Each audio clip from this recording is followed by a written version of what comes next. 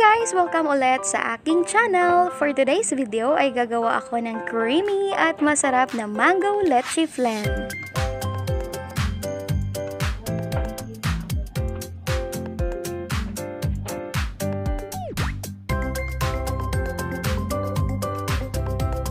Ang una nating gagawin ay maglalagay tayo ng white sugar sa lianera. 2 tablespoons para sa malaking lianera at 1 tablespoon para sa maliit na lianera. Next, i-caramelize ang white sugar at dapat naka-low heat lang para hindi ito masunog.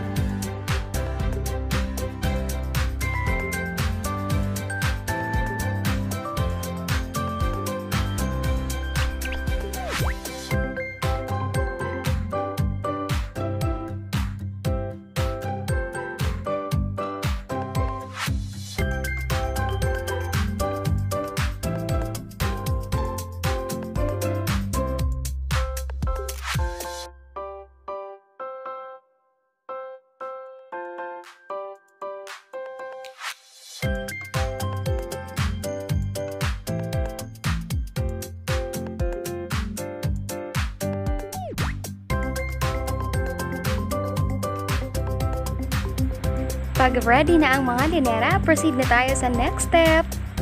Sa malaking bowl, paghaluin ang 10 egg yolks at 1 2 tablespoon ng mango powder.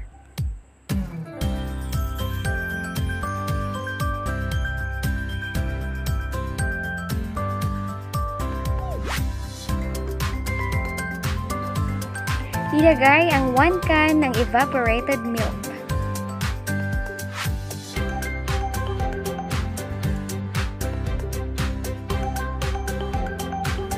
Next, ilagay ang 1 can ng mango condensed milk.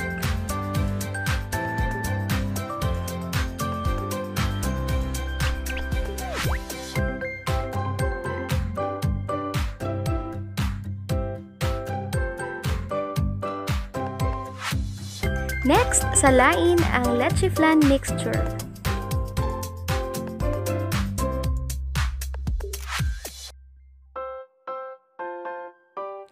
Ilagay ang leche flan mixture sa mga lianera.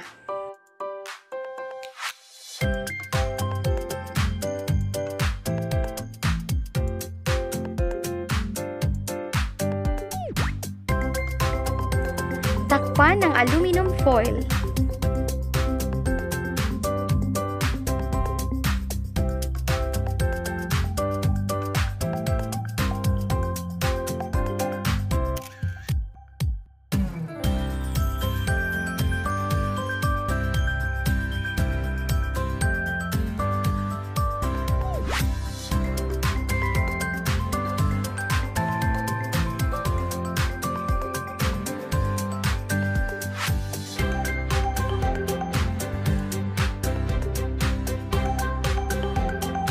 Ilagay sa steamer, takpan at steam ng 30 to 35 minutes.